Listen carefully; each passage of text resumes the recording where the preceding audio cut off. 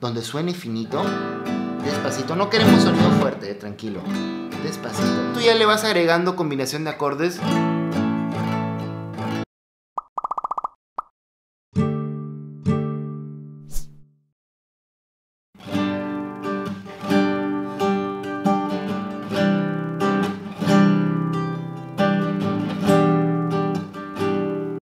todavía estás teniendo problemas para rasgarle a la guitarra, los rasgueos honestamente lo considero lo más fácil que puedes hacer en la guitarra.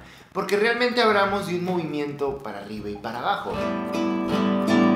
Eso es todo, simplemente le vamos dando diferentes movimientos acordando al, tipo de rasgueo. O sea, simplemente es cosa de memorizar patrones, ¿no? No son como acordes o cositas más difíciles donde tienes que hacer arpegios.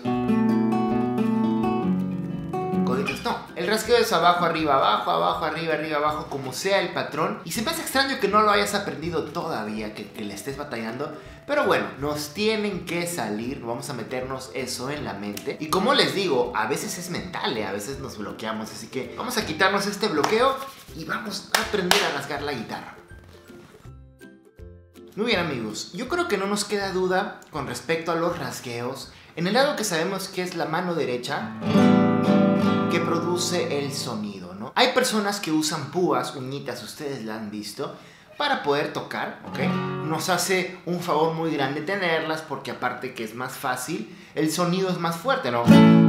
Es más amplio, pero considero yo que no es bueno acostumbrarnos a estas porque después se te pierde la púa como todo nos pasa y no puedes tocar. Yo creo que con una muy buena práctica como les voy a enseñar ahorita, el sonido puede salir.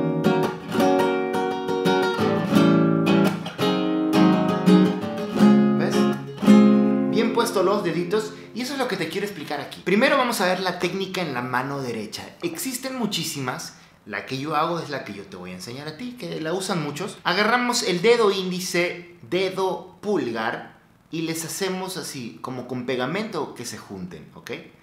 Casi así como que se estuvieran dando un besito, como siempre les digo, así.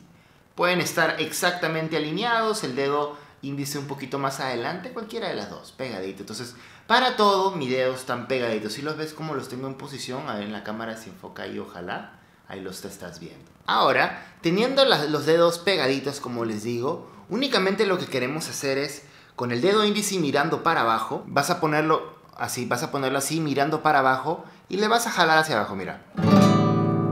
Nada más. Eso te debería hacer sin ningún problema, ¿eh? independientemente de la guitarra que tengas, no debería haber ningún problema para ese sonido. Si esto ya te sale, déjame decirte que los rasgueos ya te deben salir sin problemas, mira. Lo que está produciendo aquí el sonido obviamente es el dedo índice cuando está bajando y es la uñita, ¿no? Mientras un poquito más larga sea la uña, vamos a tener un sonido más bonito, más claro. Tampoco quiero que tengas un uñón de este vuelo, simplemente un poquitito más, un poquito que sobresalga. Y esto es lo que hacemos, mira. ¿Ves? Hacia abajo nomás. ¿Te está saliendo así despacito? ¿Te está saliendo muy duro? No buscamos eso, despacito, encimita. Quiero que veas esta toma un poquito mamalona. Miren, ¿eh? Encimita. No estoy muy separado ni muy pegado. Encimita, mira. Muy bien. Para continuar este ejercicio, ahora lo que vamos a hacer es vamos a ir de ida y de vuelta. ¿A qué me refiero? Mira, bajamos con el dedo índice mirando hacia abajo y ahora con el dedo pulgar subimos. No queremos hacer un movimiento donde el dedo pulgar quede completamente alineado hacia abajo, o sea, así. No. Tú baja y el dedo pulgar sube como que un poquito en diagonal, ¿sí? Baja, sube, baja, sube. Ambas uñas del dedo índice y el dedo pulgar se encargan de chocar con las cuerdas y producir este sonido. Si dominamos la distancia, que es lo principal, o sea que no muy fuera ni muy dentro, donde suene finito, despacito, no queremos sonido fuerte, eh, tranquilo, despacito. Si dominamos esto, ya se hizo amigos, ya prácticamente el video ya lo terminamos. Porque a esto tú ya le vas agregando combinación de acordes suena bonito, mira. Y si lo haces así, bonito, parejo, mira. ¿Escucha? Qué bonito, ¿eh?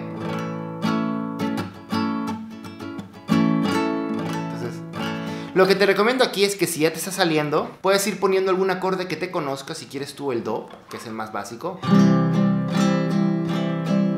Y ya le vas dando para abajo.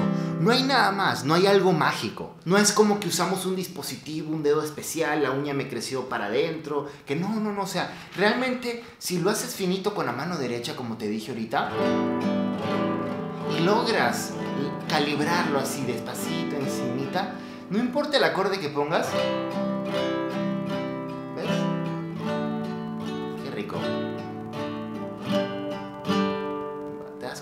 Si a esto le metemos ya un patrón muy básico de guitarra, muy usado, como lo ves en las flechas, ¿no?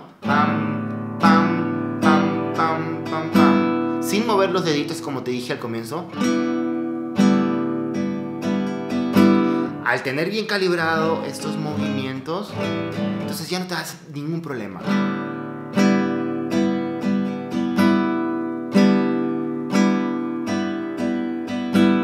Le metes un acorde y empezamos a tener sonidos.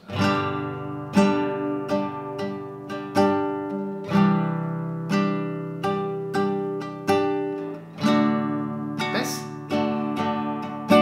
Era así de fácil. No hay necesidad de complicarnos. A veces los pensamos, no, que hay, que hay patrones. Bueno, eso va a llegar más adelante, ¿no? No tenemos que tratar de aprendernos un rasgueo así eh, macabro. Primero con lo que vamos empezando. Vas a encontrar tu rasgueitos un poquito más pops.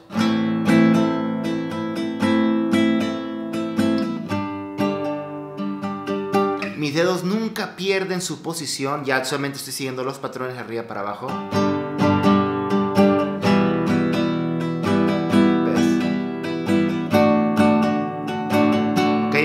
Ya vamos combinando esto a tu conocimiento de acordes, a los cambios, porque también si vas a empezar a tocar canciones, te vas a dejar así, tienes que estar consciente de que cambies los acordes bien. Si no sabes cambiar los acordes,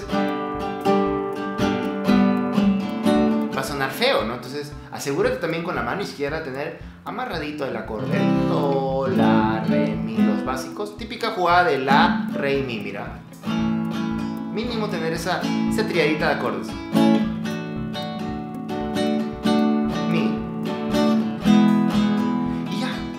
Están saliendo tus primeros rasgueos. A lo mejor te salían bien, excelente.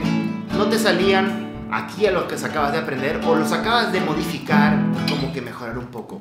A veces nos bloqueamos, cometemos ese error que pensamos las cosas más difíciles de lo que realmente son. Todo está en la mano derecha, los dos deditos pegaditos. Más adelante tú solito te vas a dar cuenta que ya no es necesario usar los dos deditos. Vas a usar los cuatro dedos y vas a hacer rasgueos pero eso es más adelante, ¿no? No quiero que te compliques. Ahorita con los dos deditos, poquito a poquito se te van a ir dando diferentes técnicas. Así que ahí lo tienen. Muy fácil lo de los rasgueos, como les decía al comienzo. Yo no sé por qué no les está saliendo a los que me piden este video. Espero con eso te logre salir. Espero haberme explicado bien. ¿Tienes alguna duda, pregunta, queja, sugerencia? Lo que tú gustes poner, no te olvides ponerlo aquí en la parte de abajo en los comentarios. Nos vemos en el siguiente video, amigos. Adiós.